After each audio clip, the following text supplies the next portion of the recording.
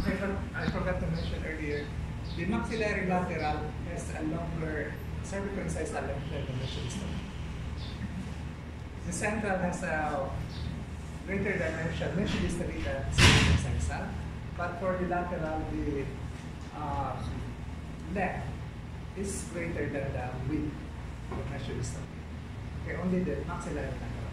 The rest of the primary teeth, they have a greater medullary uh, width than the cervical incisal or cervical incisal.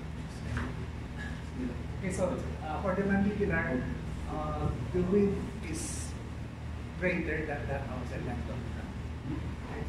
And yeah, for the labial, usually it's flat, but of course there's complexity in the process. Okay, and yeah, the proximal surface converges towards the cervical area.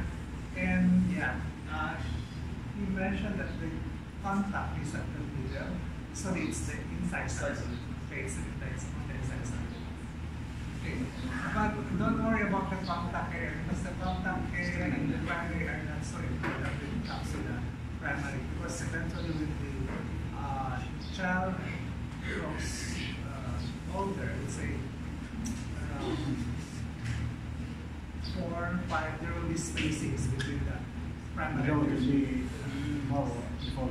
yeah, there will be spacing because of the development of the arts and also the development of the saxophone. The, the arts becomes greater, so uh, it's natural to be spacing or the estimates between.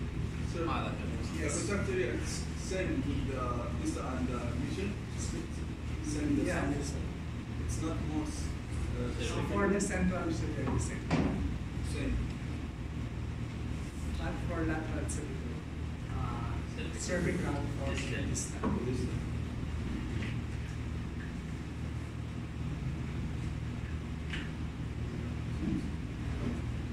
the lateral is, larger the but basically they are the same. So yeah, he mentioned about the lingual surface where on the inside center it could be flat or it could be there should be uh, there's a possibility that it's there's a cytoplasm. For the canine, yeah, the shape is the. But um, when it comes to the mandibular canine, the mesial cast width is shorter. Okay, so it's the opposite. So yeah, the is smaller.